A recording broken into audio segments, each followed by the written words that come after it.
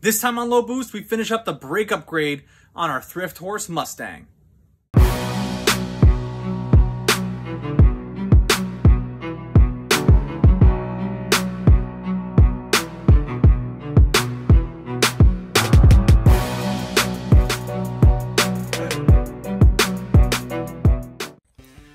So, believe it or not, when you swap these over, the six cylinder steering rack will hit the oil pan when we put the 351 in. So we are gonna have to swap it out to the eight cylinder one.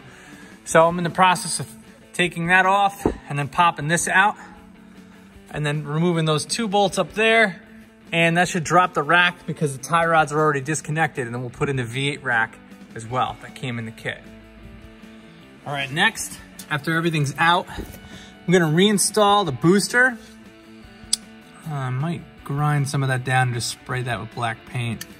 But either way, next we got the bracket that gets installed there, then the booster, and then the bolts go on last. And what we do is, um, I already bled it before, and it came with some bleeding tubes. So you hook up the bleeding tubes to those two yellow things, and then um, you add brake fluid in, and then pump the, and then pump it manually until uh, there's no air coming out of it. So in order to upgrade this to the V8 suspension or the V8 steering, um, we are gonna actually have to uh, take the pitman arm off instead of replacing the steering box, which we really don't want to replace the steering box. And we have a pitman arm removal tool, and hopefully this is gonna do it. Uh, we tried a bunch of other stuff and it didn't really work, so let's see if this works.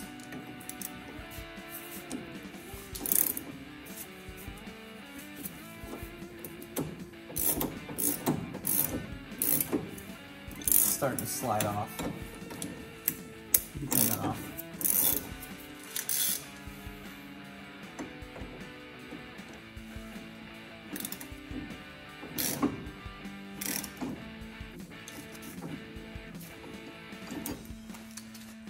I just gotta hold the pitman arm removal tool where it is.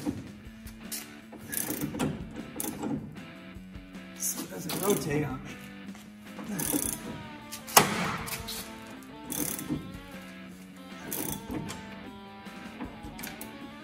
No, came off. Go. All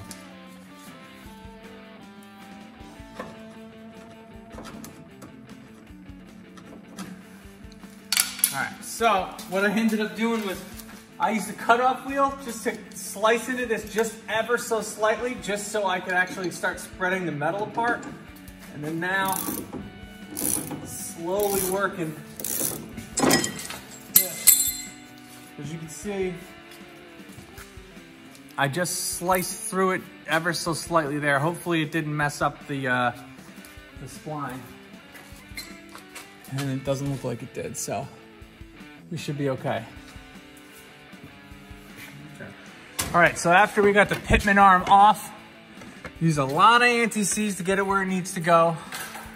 This steering rack lines up a little bit different.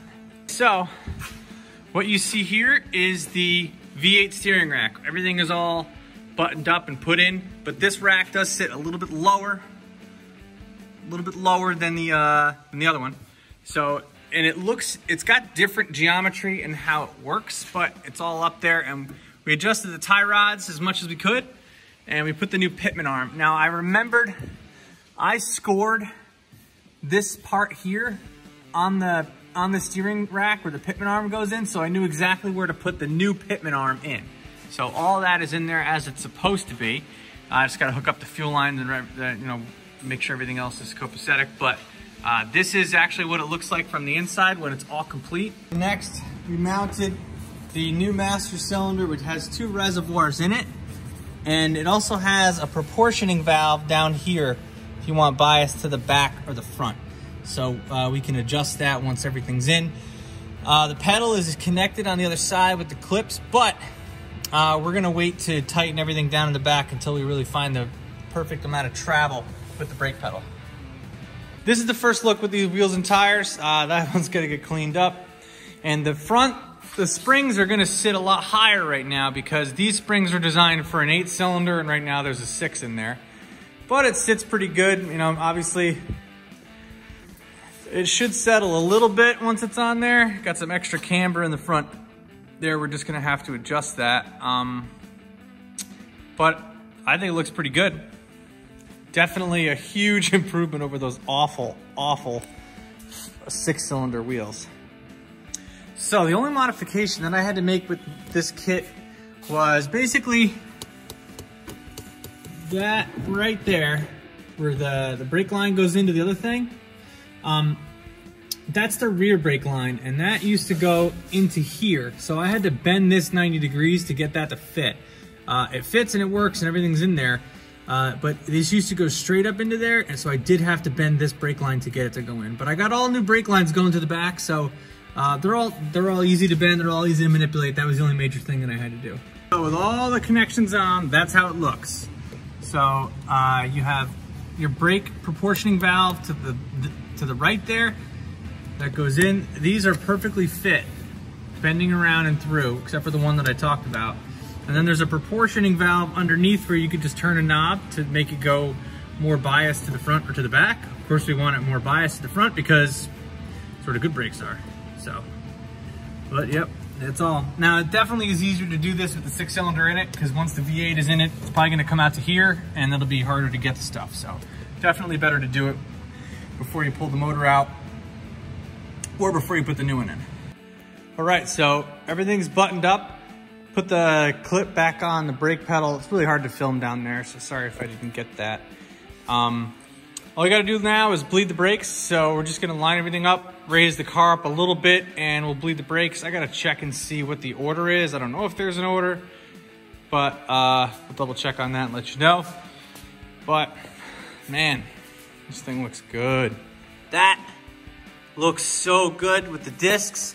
And then we got our new shock tower as well as our new springs and our new KYB Gas-a-Just shocks front and rear should really make this thing ride good. So what I like about this is it has that brake duct right there if you see it, which is pretty cool. It helps with, uh, with cooling your brakes while you're driving. Not that we're gonna be doing any heavy tracking, but this brake setup is definitely a huge, huge upgrade to what it had. All right, so now the brakes are all on, front, rear, everything's hooked up. As we started to bleed it, there was a couple of spots where started to leak, so we just gotta tighten down all our fittings, make sure there's no leaks. Still not ready to test it out on the road yet, because it's got a bunch of snow, three feet of it. But um, we did right rear, left rear, right front, left front for bleeding them, and now we're gonna try them out. So we're gonna spin this hard, hit it. Ooh, it worked. This thing's lock up. These will these grip better than the rears. When these things grip, they grip. Um, you can adjust the pedal as well. If you want less pedal travel or more pedal travel, I have it so there's more pedal travel because we really want to get used to nice sharp stopping disc brakes, but we don't have a, a power brake booster. It's just manual brakes still. But I think that the manual brakes should be good with this setup. So let me know what you guys think. I do want to touch on one last thing when in, in regard to this project. Yes, as I said before, it would have been easier just to get a V8 Mustang and we would already have some of these better parts.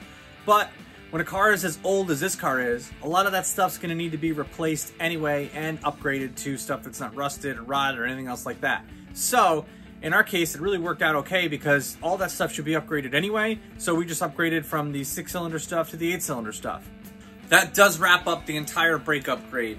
Unfortunately, we have a ton of snow and the roads are all salty, so I'm really unable to do a test like I did before, uh, with the brake stop from 50 miles an hour. But trust me, I'm going to do it as soon as the weather turns around and we have all the salt off the road. So make sure you guys stay up to date and hit that subscribe button. In the next episode, I'm going to do a little bit of welding and put on a couple of braces in some spots in the car that could really use some reinforcement from it being just worn out over time underneath the car. So make sure you guys stay up to date on all my uploads on the Mustang. Don't forget to check out a bunch of other stuff that I have, not just on the Mustang, but I have a C5 Corvette, old school BMW turbo LS swap. My dad and I are restoring a 1953 Ford F100 pickup truck. Got a lot of cool stuff on the channel, so make sure you guys check that out. Again, thank you very much for watching, and I'll catch you in the next one.